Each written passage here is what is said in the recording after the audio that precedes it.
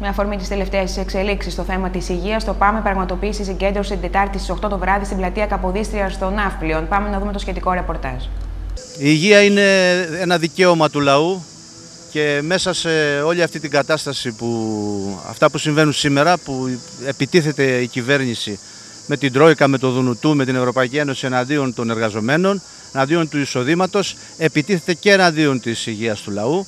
Ε, δεν είχαμε βέβαια κανένα σύστημα υγείας, δεν έχουμε αυτό που θα έπρεπε, αλλά έτσι όπως πάει, σε λίγο θα, δεν θα υπάρχουν καν δημόσια νοσοκομεία. Ήδη το κεφάλαιο μπαίνει σιγά σιγά και η εμπορευματοποίηση της υγείας προχωράει.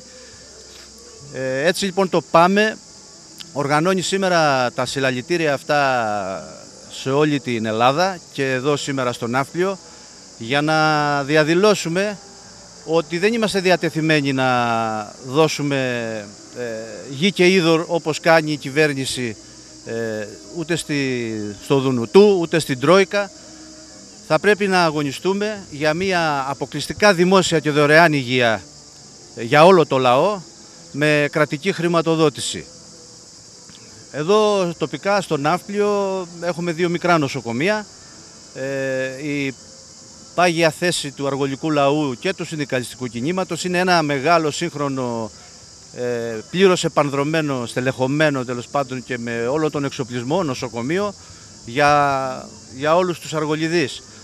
Έχουμε τελικά δύο μικρά νοσοκομεία που οι τοπικοί παράγοντες τόσα χρόνια τα συντηρούν και με, είναι και κατεύθυνση των, όλων των κυβερνήσεων μέχρι τώρα να μην αναπτύσσονται ε, να μην υπάρχει πραγματική κάλυψη υγειονομική για τον αργολικό λαό. Ζητάμε λοιπόν τώρα που λένε ότι θα ενοποιήσουν τα δύο μικρά νοσοκομεία να, να υπάρχει πλήρης κάλυψη των αναγκών του λαού στην υγεία μέχρι να επιτευχθεί ο στόχος το ένα μεγάλο νοσοκομείο.